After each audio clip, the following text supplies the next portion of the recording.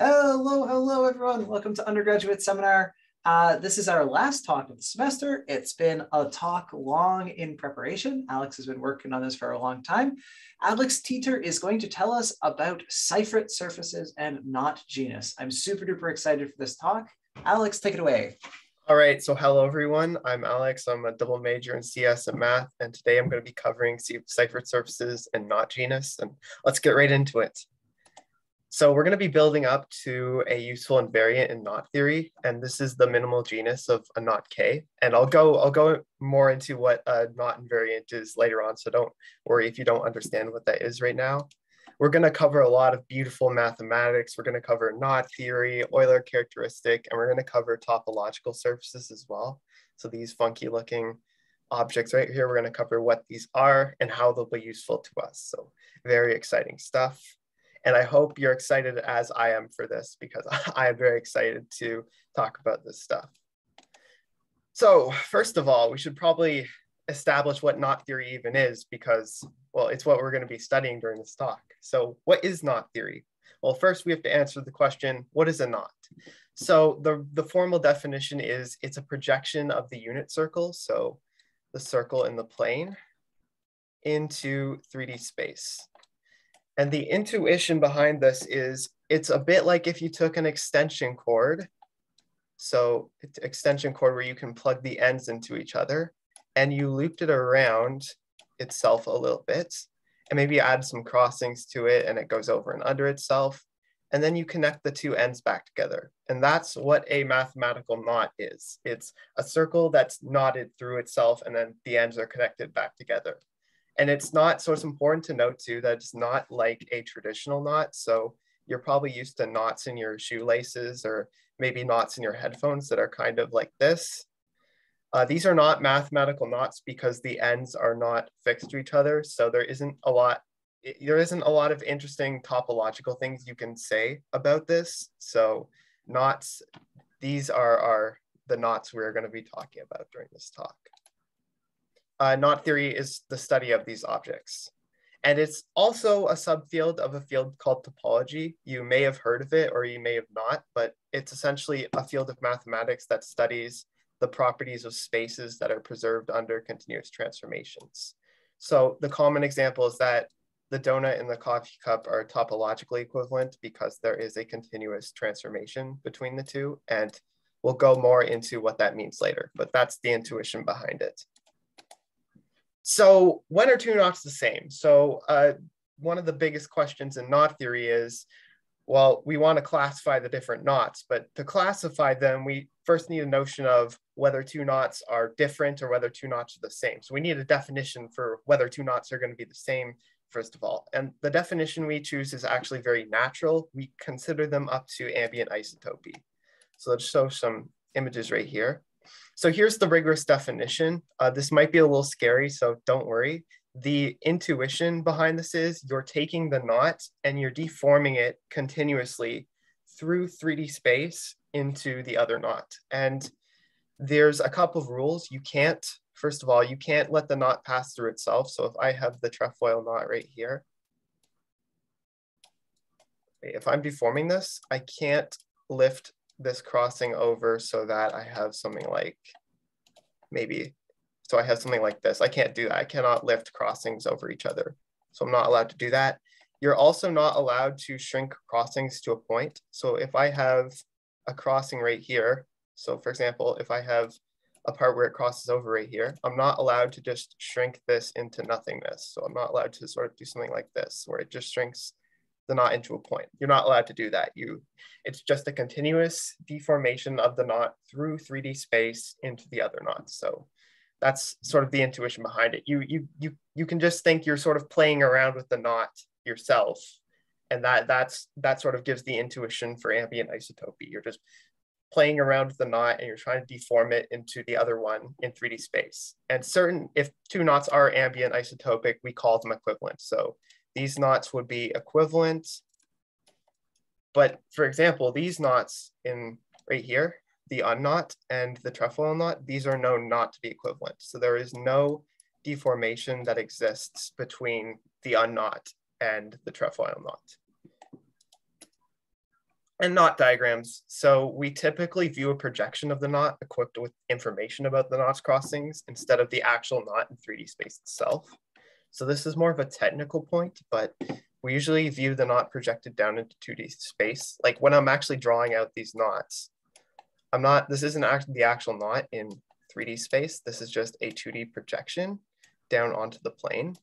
Uh, but it's also a 2D projection equipped with the information about the crossings because if you don't add in the crossing information, then you, you lose it just with a regular projection. Because when you project onto the 2D plane, well, none of the parts of the knot can cross over itself. So you just, you'd get something like this. And that's not very useful to us because there's no crossings and the all the important information about the knots and the crossings. So we have to also give it the information about the crossings.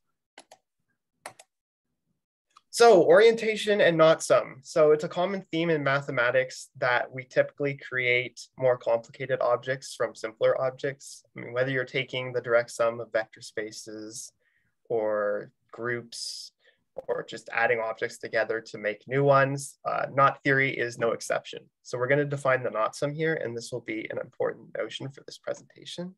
Uh, we're gonna do this a bit informally. So how we start with taking the knot sum is we pick an orientation along both knots.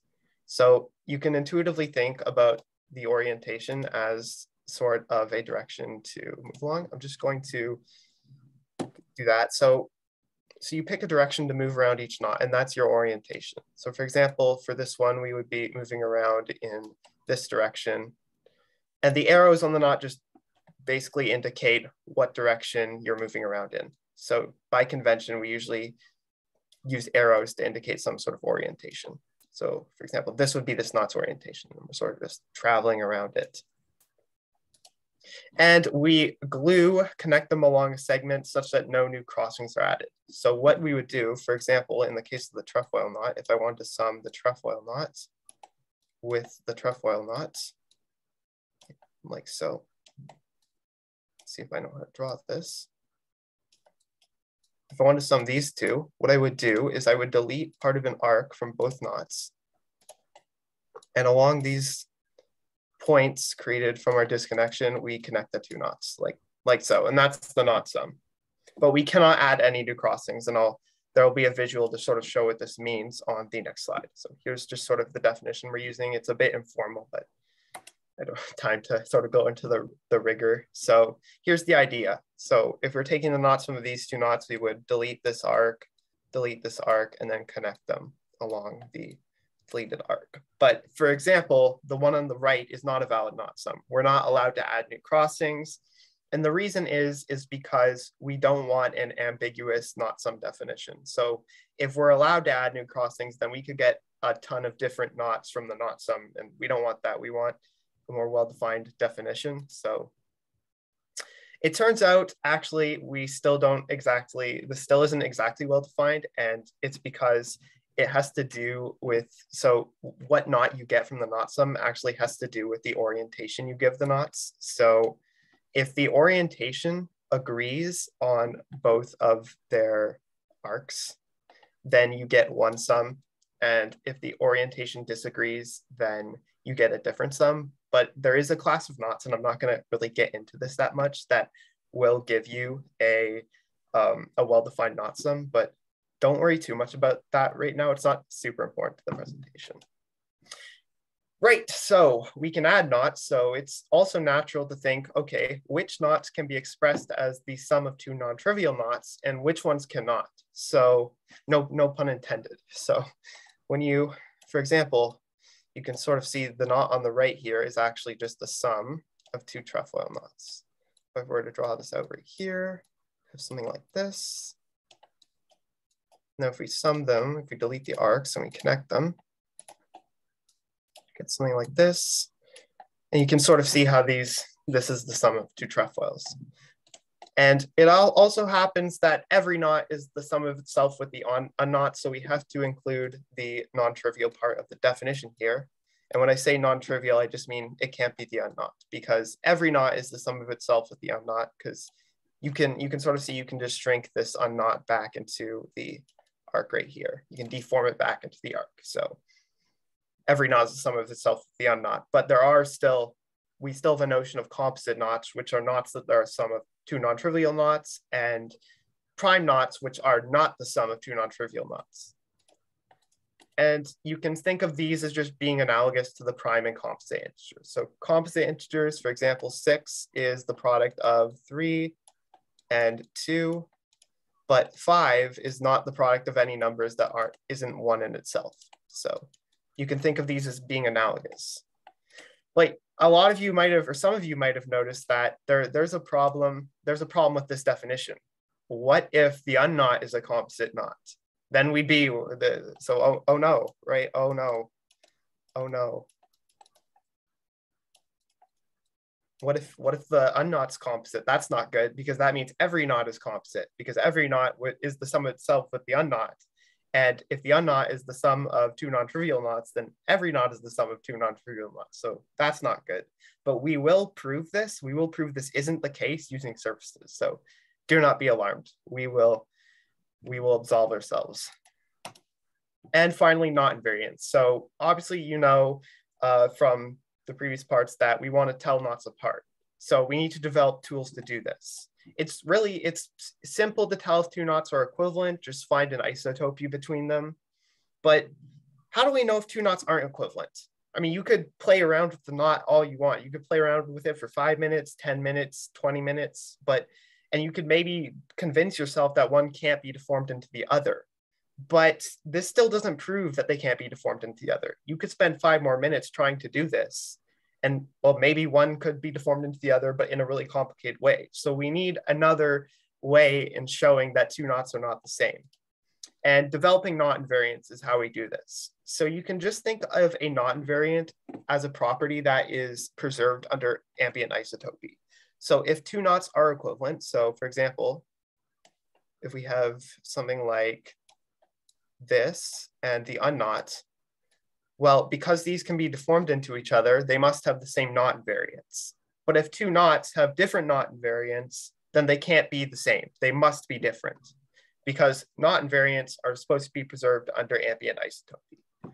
So that's the main idea. These are basically properties of the knots that allow us to distinguish between the knots. So we can sort of sort them into baskets. For example, there's tricolorability, which is a property of a knot to be colored uh, in a certain way. And we see with the trefoil knot, it can be tricolored. So tricolorability just means you can color it at every arc, either three colors meet or one color meets, and you have to color it with three colors. And we see we can do this with the trefoil knot, but not with the unknot. So they cannot be the same. You cannot deform the trefoil knot into the unknot.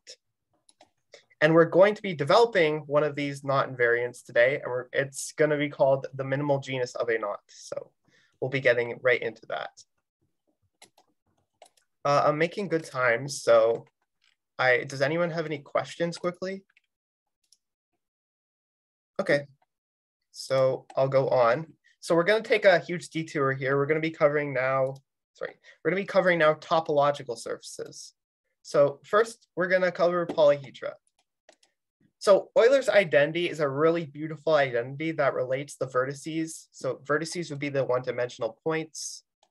The edges, so edges would be the two-dimensional lines between the points, and then the faces, which would be the three-dimensional uh, poly, polygonal faces created by connecting these two. And it basically says that vertices minus edges plus faces equals two for every regular polyhedra. So we can verify this for the tetrahedra.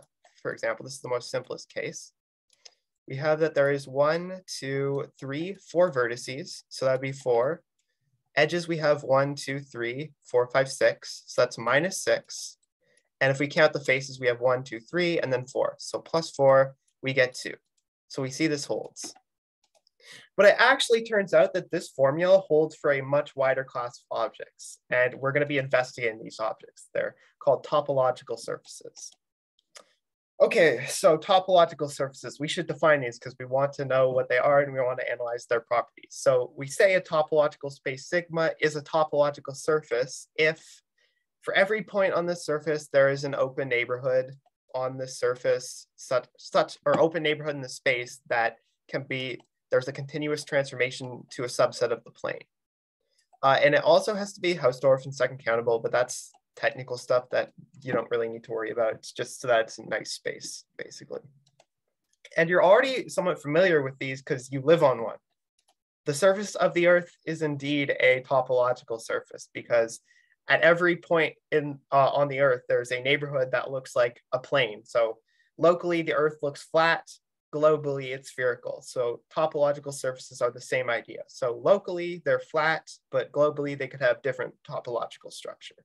And the same idea is sort of here. So every point, there's a subset or there's a neighborhood around that point that we can send to a subset of the plane.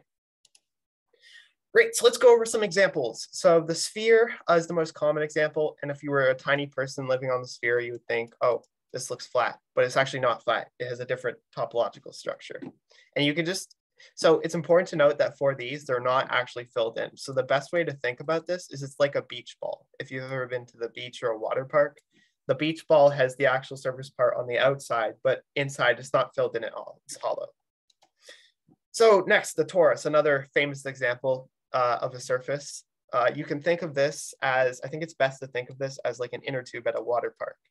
So, you know, inner tubes, the, the outside's all actually there, but inside is just air, so it's hollow. So uh, you can think of it as like an inner tube going down a water slide. It has, it has a hole in it too, so that also makes it quantitatively different from the sphere, and we'll make this rigorous as we go on. And we can extend this concept to a two-hole torus. There's two holes and we can do this for a three-hole torus. You can sort of think it kind of looks like a fidget spinner, but yeah, and we can go on and on and on.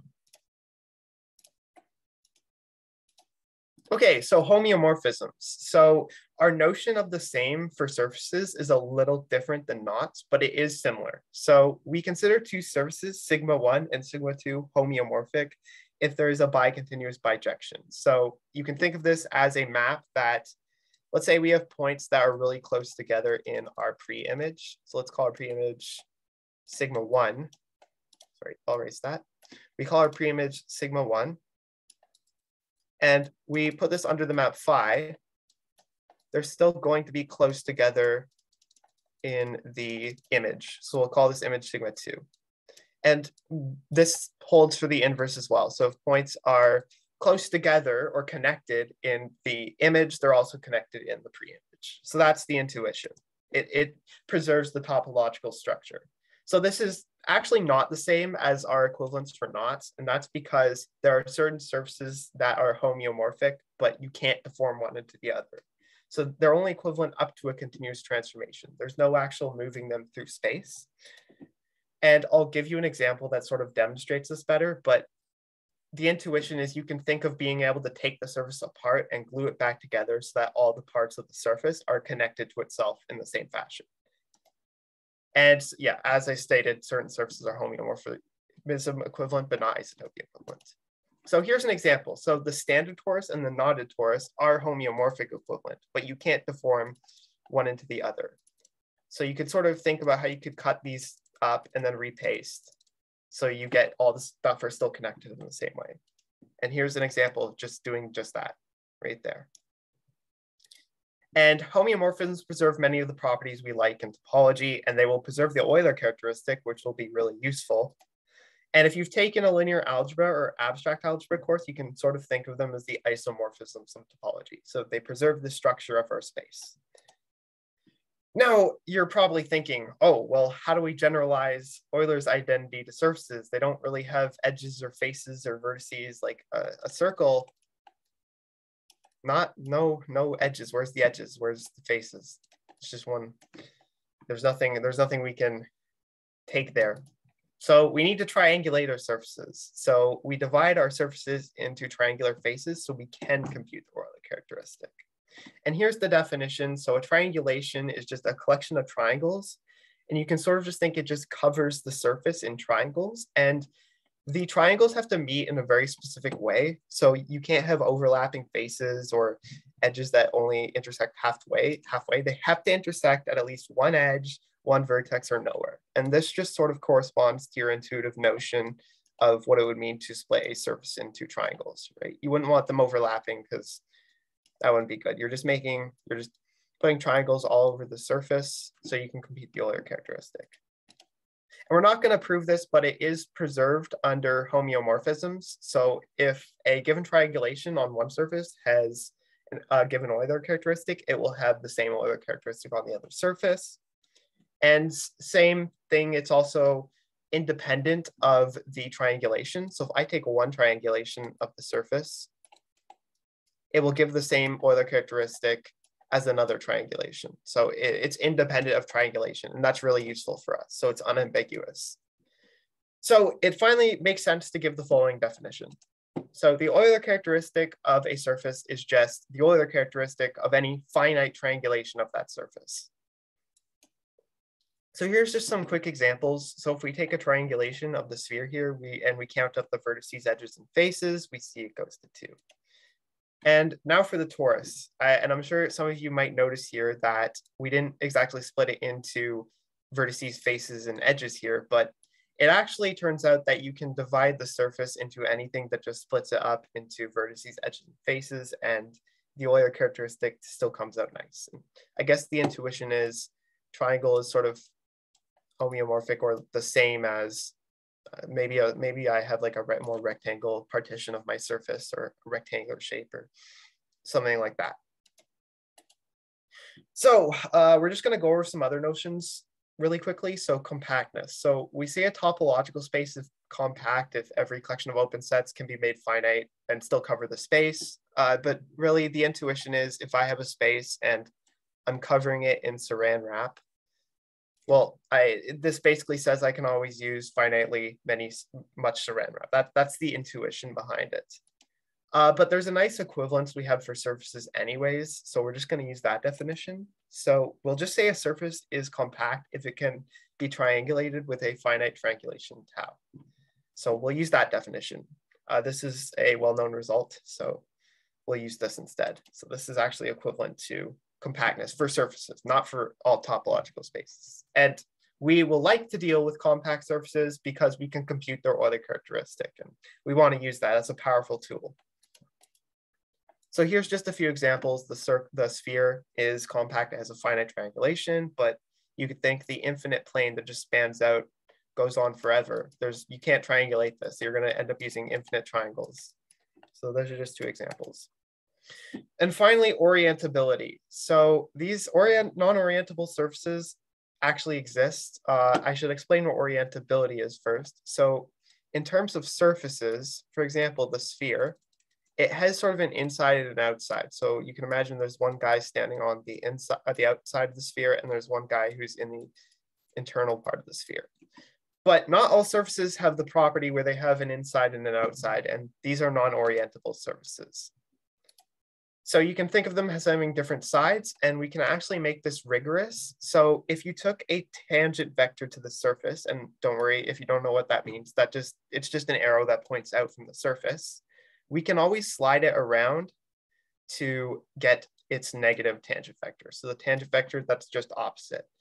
And and the Mobius strip is one of the most fundamental examples. Uh, you, you can also think, another way you can think of non-orientability is if I was trying to paint this the two sides of the surface using two colors, well, it wouldn't be possible because I would always end up using a single color. Because if I took a trip around here, it'd end up right back where I began.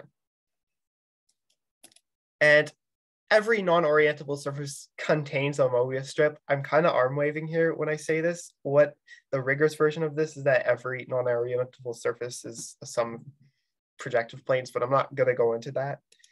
Uh, it turns out uh, orientability is also preserved under homeomorphism. So this is well defined for our surface equivalence definition. And I'll just show you a weirder example really quickly. Uh, the Klein bottle is another example of a non-orientable surface. So it's a surface that only, it's also a surface that only exists in four dimensions. It always intersects itself in three dimensions. So you can't actually embed this surface in three dimensions. It's you have it has to be embedded properly in four dimensions. And these surfaces are pretty interesting, but I just thought I'd bring, bring them up because we actually want to avoid non-orientability. We want orientable surfaces for our purposes. So we can see if I took a tangent vector on the Klein bottle, it has the same property. We can go up and we get the opposite tangent vector. And we can also see it contains a Mobius strip in it, as I stated. It's actually the uh, it's actually two Mobius strips glued together. Uh, and finally, surfaces with boundary. So you can just think of a surface with boundary as a surf something homeomorphic to a surface without boundary with d disks removed. So you can think of this as like a donut. I took, or a hollow donut, I took two bites out of it. So there's two boundary components now. And for example, uh, a disk, so a disk would be a sphere with a single boundary component. And the boundary component is kind of this curve that bounds it in. And you can always convert these back to something homeomorphic to a surface without boundary by just gluing in disks. Sometimes this gluing requires four dimensions, but we can always do this. So we can always get back something that doesn't have boundary.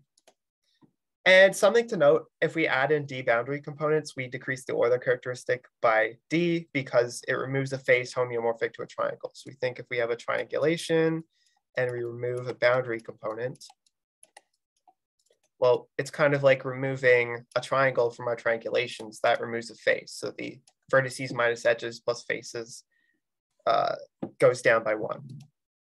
And we'll be investigating surfaces with boundaries, so we want to have this notion. Okay, so it actually turns out we know all the surfaces, we know all the compact orientable surfaces up to homeomorphism.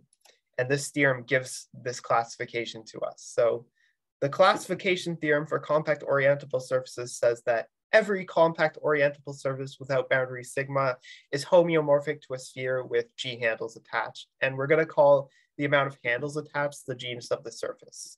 And by convention, if we have a surface with boundary, we will denote the genus of that surface as the genus we get from capping the surface off with disks. So we can cap it off with disk to get something without boundary.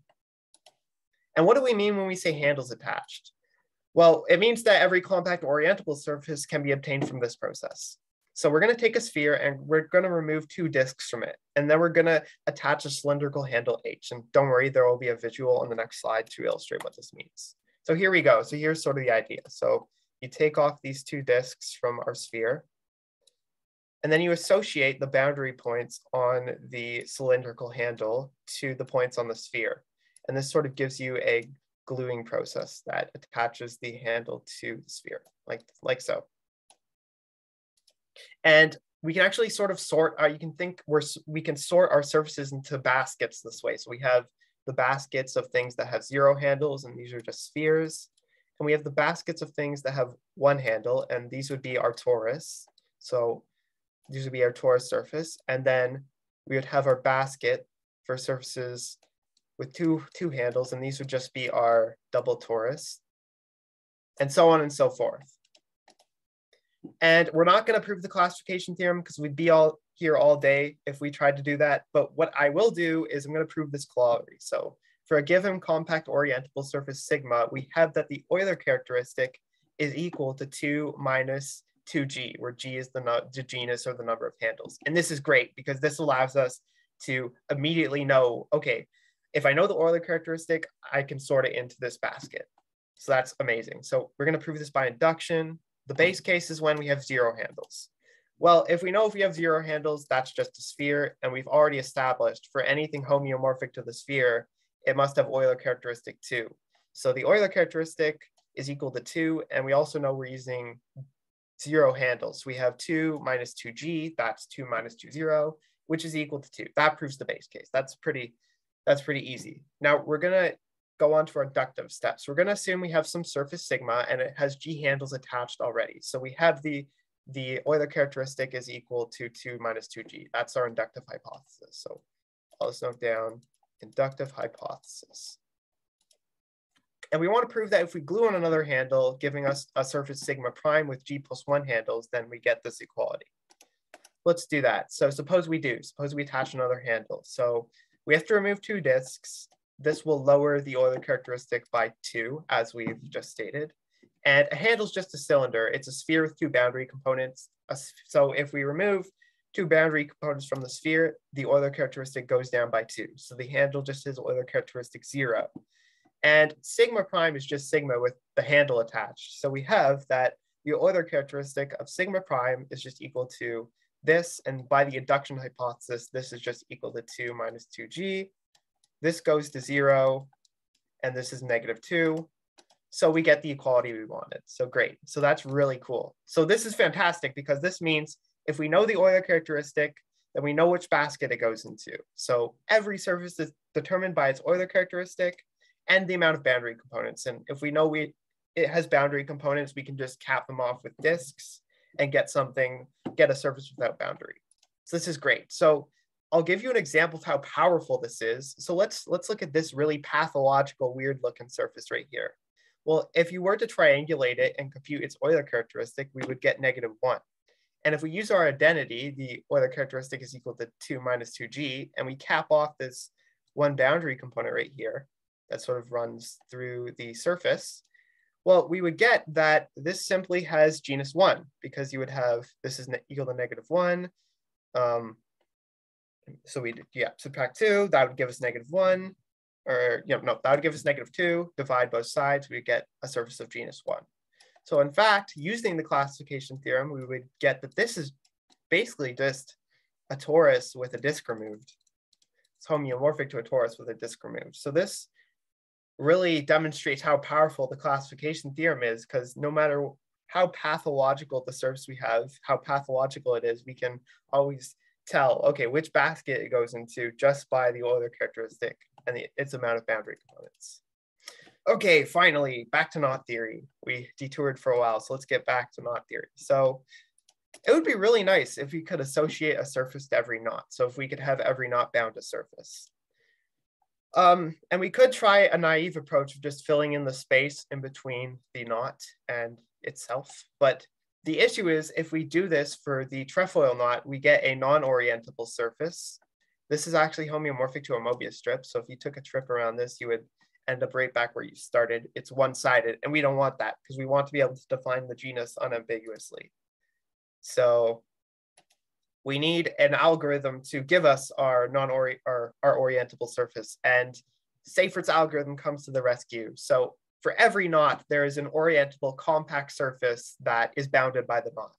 So let's go through the algorithm and how it works. So we pick an orientation and this is just our direction of travel. So this is sort of what we did when we took the knot sum. Remember, we just pick a direction to go around the knot. Ooh, right there. And we smooth out each crossing as we come across it. So we would assign to each crossing an in and out for each part of the crossing. And then we assign the opposite in to the opposite out, like so. So B get in gets assigned to A out, and A in would get assigned to B out. And one second. Right, so we, we'd smooth them out in this way.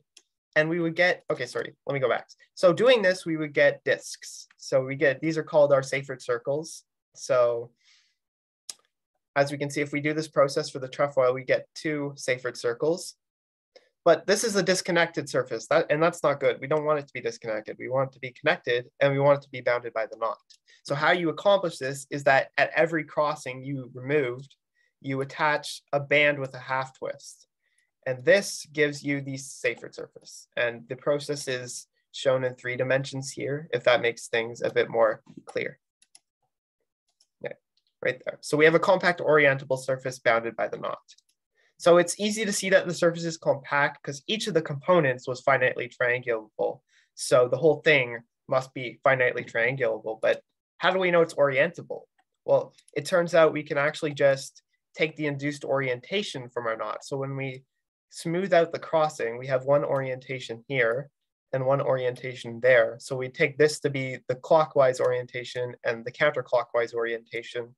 And then you could think you could use this orientation to color in each part of the surface. And with our bands, with our bands with half twists, these allow us to have a consistent orientation because you could go from here, this is one side, here to the other side, and then vice versa. Yeah. So here's some more examples. So here's just our our trefoil Seifert surface, and it doesn't really look much like it's bounded by the safe the trefoil knot. So usually you have to isotope these to make it more clear that it's bounded by the knot. And here's another example uh, of doing it for the figure eight knot. So you'd go around here and you'd smooth it out. So you'd smooth out the crossings each time and you would attach bands everywhere you smoothed out a crossing. And here's a various Seifert surfaces for various knots. They look, I think they look very cool personally. Okay, so the minimal genus. So we may be tempted now to define the genus of a knot K as the genus of the Seifert surface it bounds. But uh, there's a problem here. So the issue is Seifert's algorithm is not guaranteed to give the only compact orientable surface a knot could bound. So a knot could bound multiple different surfaces of different genuses. And the unknot, so just our circle, is probably the, the most common example of this because it bounds a disk, but we can also see it bounds a one-hole torus, and it also bounds a two-hole torus, like that. And that's not good. Oh no, that is not good. That's really bad because this means our definition is ambiguous. So we're going to take the following definition instead. We're going to define the genus of a knot as the minimum of the genuses of any Seifert surface it bounds. And I'm not going to prove this, but this is preserved under ambient isotopy. But the intuition is if I'm ambient isotoping one knot into the other, I'm not going to disconnect the surface it bounds. So the surfaces that it bounds should at least be homeomorphic. Okay, well, that's great, but now it's really difficult to compute because we can't take advantage of Seifert's algorithm because we don't know that we're gonna get the minimal genus Seifert surface from that. Well, the following theorem comes to our rescue here, and this is a really nice theorem. So performing Seifert's algorithm on an alternating projection of a knot will give the minimal genus Seifert surface. And an alternating projection is just a projection where if you travel along the knot, the crossing, so the part where the knot crosses itself, go over, under, over, under, over in an alternating fashion.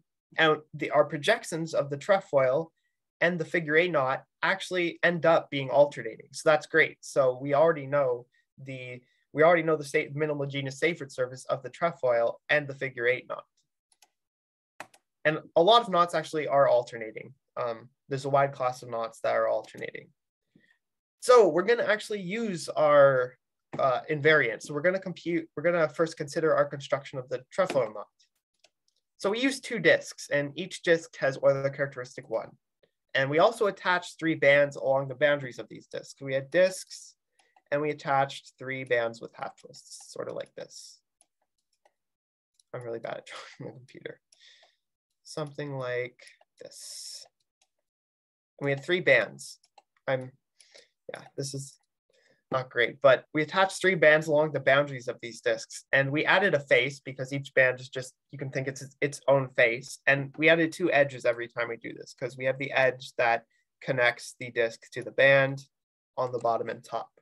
And because we decrease, so because we increase by one for the face and subtract two for the edges, we go down by one for each band. So the Euler characteristic of our surface must be negative one um, vertices, yeah, yeah. And we know the surface by construction has one boundary component, the trefoil. So we glue on a disk to get the surface without boundary, S prime. So we have that the Euler characteristic of S prime is equal to zero. And using our formula, formula for genus now, we get that 2 minus 2, the genus of S, is equal to our Euler characteristic, and we know this is 0. So if we rearrange our terms, we get this equality, and we get the genus of S is equal to one. So the trefoil Seifert surface has genus one.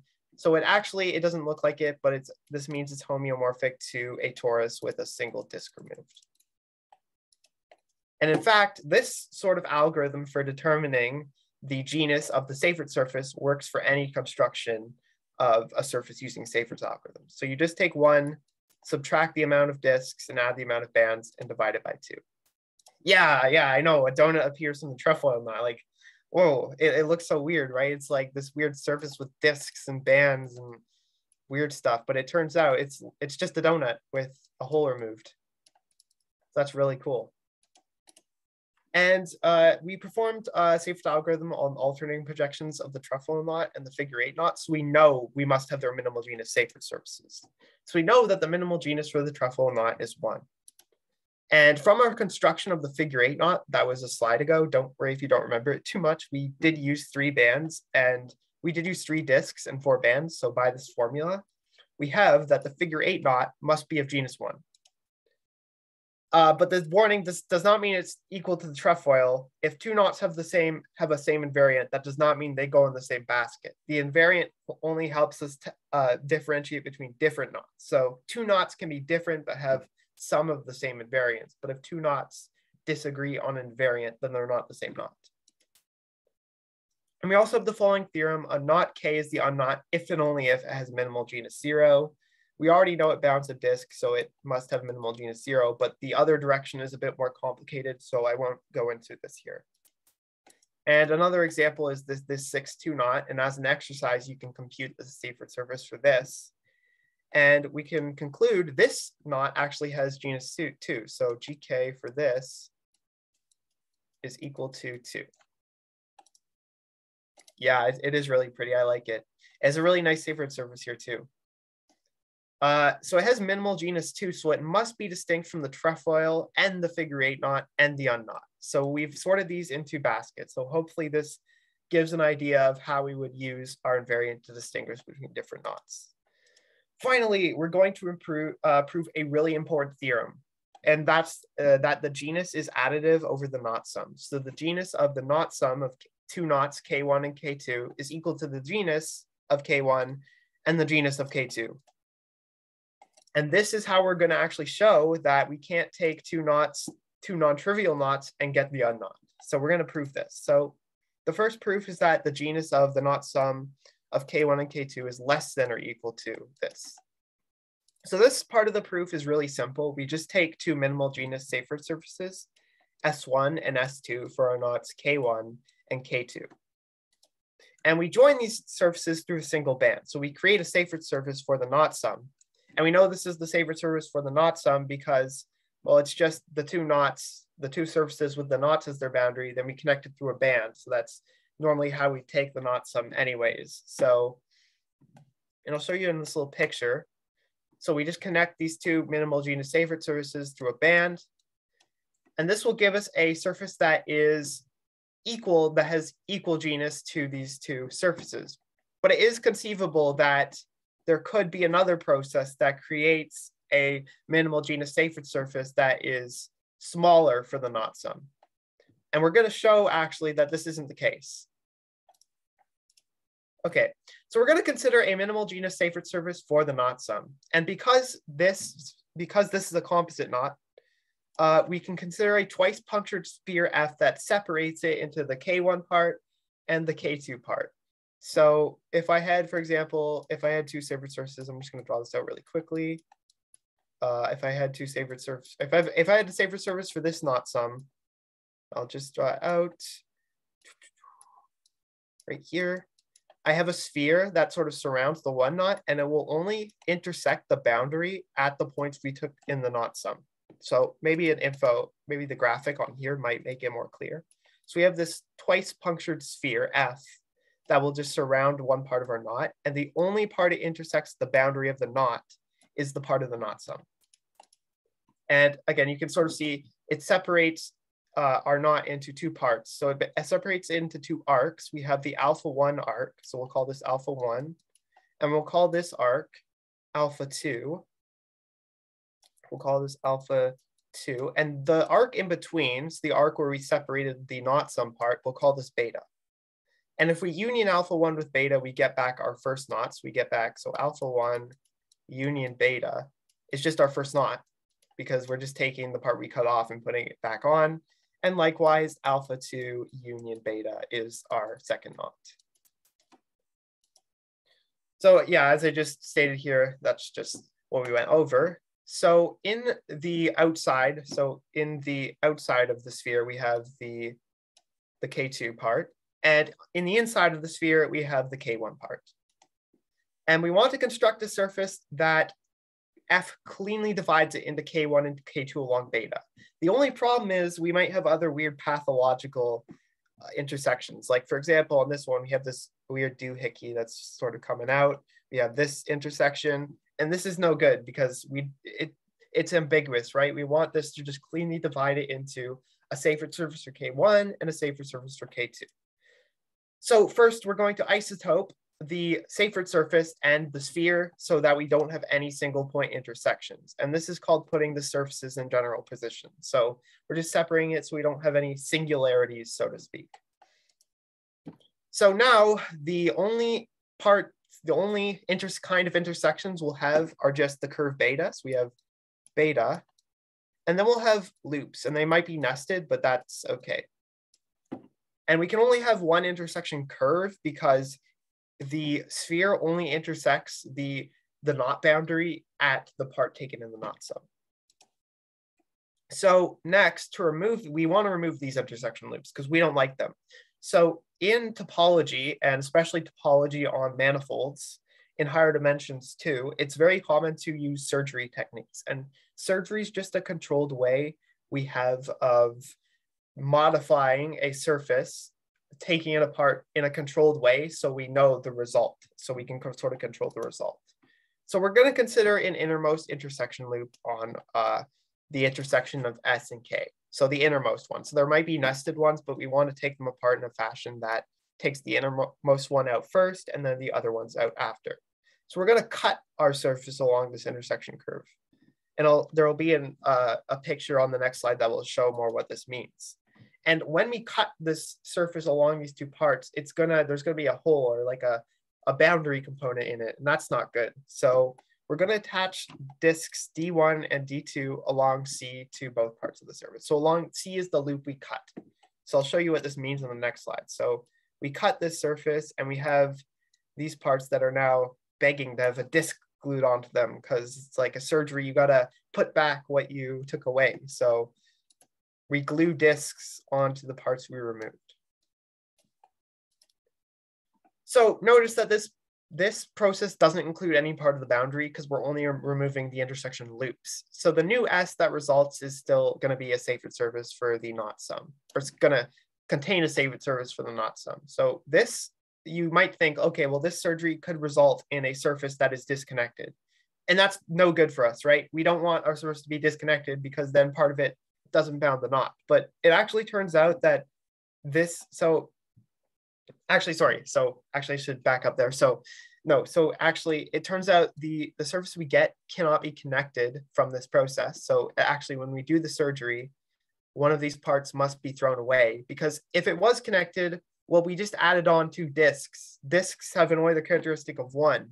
So we would have a contradiction because we just, we just increase the Euler characteristic and that lowers the genus. So then our S is not a minimal genus Seifert surface, but we assumed it was. So this new surface created through surgery cannot be connected.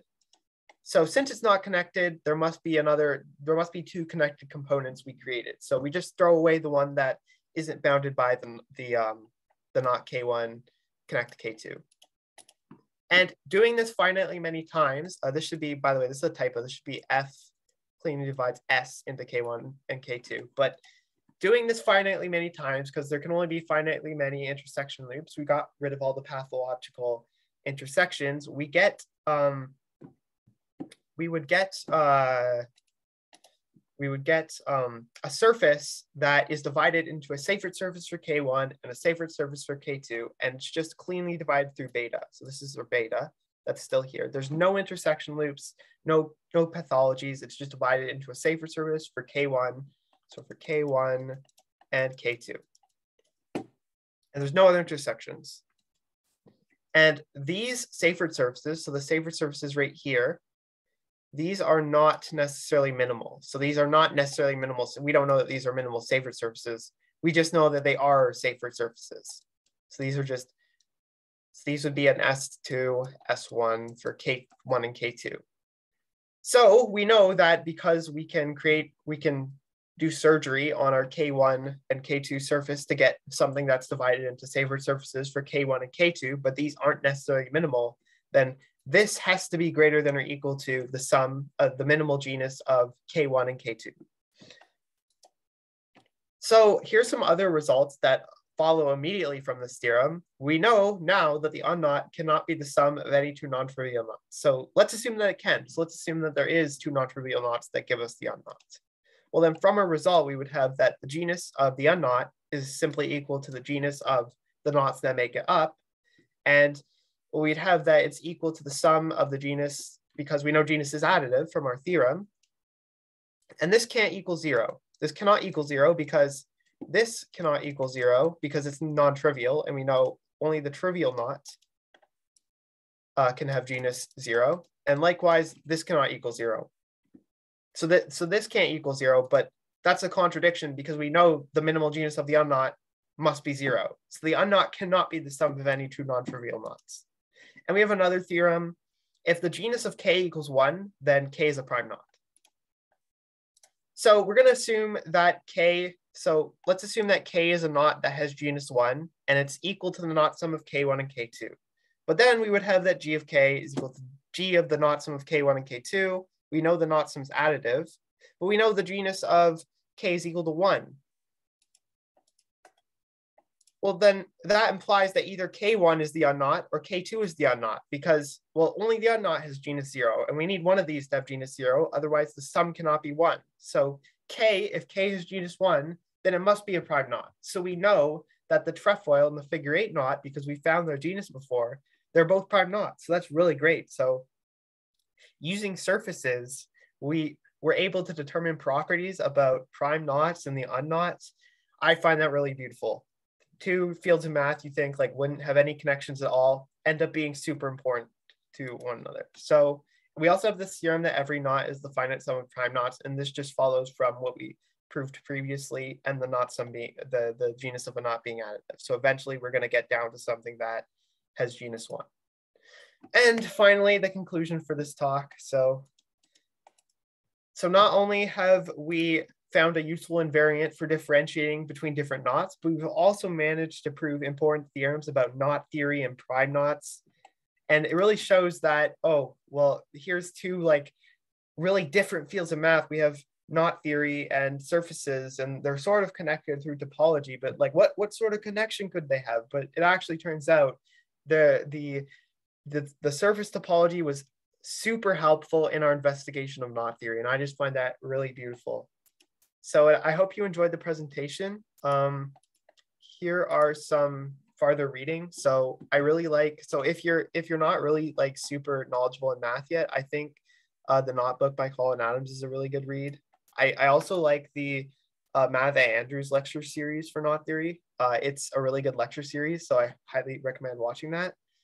Um, and if you want something a little more rigorous on knot theory, uh, Lickorish has a really good book on it. It does require some algebraic topology background, so you would need a, a bit, a lot more background for that. And if you want to like actually learn the rigorous theory of topology, Munkres is always a great book. It's it's a classic book. So uh, if you want to like actually learn the rigorous theory about topology and maybe this got you a little interested, I would recommend that textbook. And here are my references. And that's it. That's my talk. So hopefully everyone enjoyed. Thank you. So I would recommend that everybody please